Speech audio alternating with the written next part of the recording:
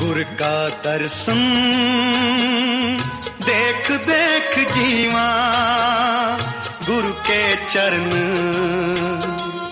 तोए तोए पीवा गुर का दर्शन देख देख जीवा गुर के चरण तोए तोए पी ਦਾ ਖਾਲਸਾ ਵਾਹਿਗੁਰੂ ਜੀ ਕੀ ਫਤਿਹ ਦਾਸ ਆਪ ਜੀ ਦਾ ਬਾਬਾ ਬਰਗਰਾ ਵਾਲਾ ਨਵੇਂ ਬਲੋਗ ਦੇ ਵਿੱਚ ਅਸੀਂ ਖੜੇ ਆ ਸਾਰੀ ਸਾਧ ਸੰਗਤ ਜੀ, ਇਸ ਸਮੇਂ ਅਸੀਂ ਖੜੇ ਆ ਹਰਿਆਣੇ ਦੇ ਵਿੱਚ, ਜ਼ਿਲ੍ਹਾ ਯਮੁਨਾ ਨਗਰ ਦੇ ਪਿੰਡ ਬਲਾਚੌਰ ਵਿਖੇ। ਸਾਹਿਬ ਸ੍ਰੀ ਗੁਰੂ ਗੋਬਿੰਦ ਸਿੰਘ ਮਹਾਰਾਜ ਜਦੋਂ ਭੰਗਾਣੀ ਦਾ ਯੁੱਧ ਜਿੱਤ ਕੇ ਕਪਾਲ ਮੋਚਨ ਆਏ, ਤਾਂ ਕਪਾਲ ਮੋਚਨ ਤੋਂ ਗੁਰੂ ਸਾਹਿਬ ਦਾ ਬਾਜ ਉੱਡ ਕੇ ਇਸ ਅਸਥਾਨ ਤੇ ਆ ਗਿਆ।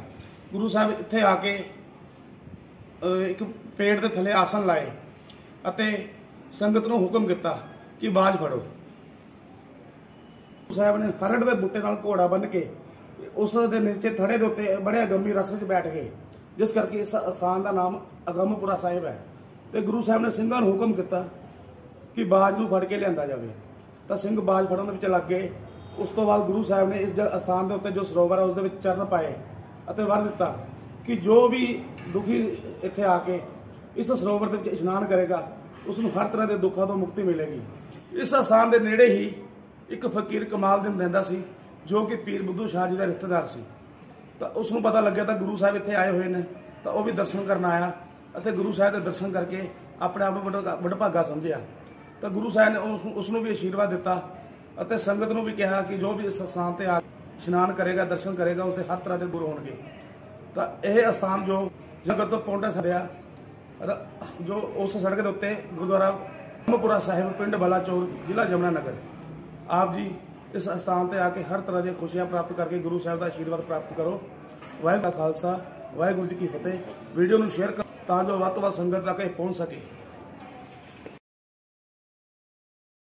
ਕਾਲ ਯੁਗ ਮੈਂ ਬਹੁ ਕਰਮ ਕਮਾਹੇ, ਨਾ ਰੁੱਤ, ਨਾ ਕਰਮ ਥਾਏ ਪਾਹੇ। ਕਾਲ ਯੁਗ ਮੈਂ RAM ਨਾਮ ਹੈ ਸਾਰ, ਗੁਰਮੁਖ ਸਾਚਾ ਲੱਗੇ ਪਿਆਰ ਰਹਾਉ।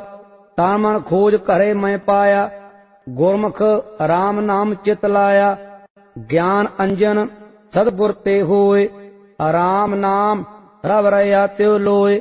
ਕਾਲ ਮੈਂ ਹਰ ਜੀਉ, ਏਕ ਹੋਰ ਰੁੱਤ ਨ ਕਾਈ।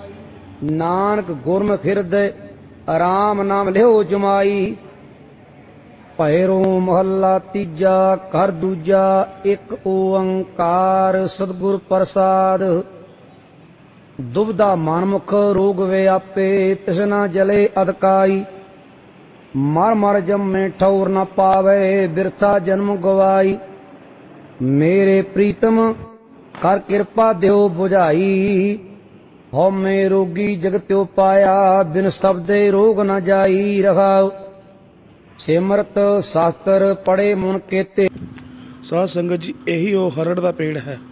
ਜਿਸ ਦੇ ਨਾਲ ਸਾਹਿਬ ਸ੍ਰੀ ਗੁਰੂ ਗੋਬਿੰਦ ਸਿੰਘ ਪਾਤਸ਼ਾਹ ਜੀ ਨੇ ਆਪਣਾ ਪਵਿੱਤਰ ਘੋੜਾ ਬੰਨਿਆ ਸੀ ਅਤੇ ਬਾਜ ਨੂੰ ਫੜਨ ਦਾ ਹੁਕਮ ਸਿੰਘਾਂ ਨੂੰ ਦਿੱਤਾ ਸੀ। ਵਿਖੇ ਗੁਰੂ ਕਾ ਲੰਗਰ ਅਟੁੱਟ ਵਰਤਦਾ ਹੈ ਅਤੇ ਹਰ ਤਰ੍ਹਾਂ ਦੀ ਸੰਗਤ ਇੱਥੇ ਆ ਕੇ ਲੰਗਰ ਛਕਦੀ ਹੈ। ਭਾਈ ਸੋਹਣ ਸਿੰਘ ਜੀ, ਜੋ ਕਿ ਆਈ ਗਈ ਸੰਗਤ ਦੀ ਸੇਵਾ ਬਹੁਤ ਹੀ ਦਿਲ ਅਤੇ ਸ਼ਰਧਾ ਨਾਲ ਕਰਦੇ ਹਨ। ਲਈ ਗੁਰਦੁਆਰਾ ਸਾਹਿਬ ਵਿਖੇ ਪਾਰਕਾਂ ਦਾ ਨਿਰਮਾਣ ਕੀਤਾ ਗਿਆ ਹੈ ਅਤੇ ਹਰ ਤਰ੍ਹਾਂ ਦੇ ਪੇੜ ਅਤੇ ਫਲ ਬੂਟੇ ਲਗਾਏ ਗਏ ਹਨ। ਸ਼੍ਰੀ ਅਗੰਮਪੁਰ ਸਾਹਿਬ ਜੋ ਕਿ ਆਪ ਜੀ ਦੇ ਦਰਸ਼ਨ ਕੀਤੇ ਹਨ। ਆਸ ਹੈ ਆਪ ਜੀ ਨੂੰ ਅਸਥਾਨ ਬਹੁਤ ਵਧੀਆ ਲੱਗਿਆ ਹੋਵੇਗਾ ਤੇ ਆਪ ਜੀ ਨੇ ਵੀਡੀਓ ਸ਼ੇਅਰ ਕਰਨੀ ਤਾਂ ਜੋ ਹੋਰ ਸੰਗਤਾਂ ਵੀ ਇਸ ਅਸਥਾਨ ਦੇ ਦਰਸ਼ਨ ਕਰਨ ਅਤੇ ਆਪ ਜੀ ਨੇ ਸਮਾਂ ਕੱਢ ਕੇ ਇੱਥੇ ਆ ਕੇ ਗੁਰੂ ਦੇ ਖੁਸ਼ੀਆਂ ਪ੍ਰਾਪਤ ਕਰਨੀਆਂ। ਵਾਹਿਗੁਰੂ ਜੀ ਕਾ ਖਾਲਸਾ, ਵਾਹਿਗੁਰੂ ਜੀ ਕੀ ਫਤਿਹ। ਹੋਰ ਅਸਥਾਨਾਂ ਦੇ ਵੀ ਆਪ ਨੂੰ ਦਰਸ਼ਨ ਕਰਵਾਉਂਦੇ ਰਵਾਂਗੇ।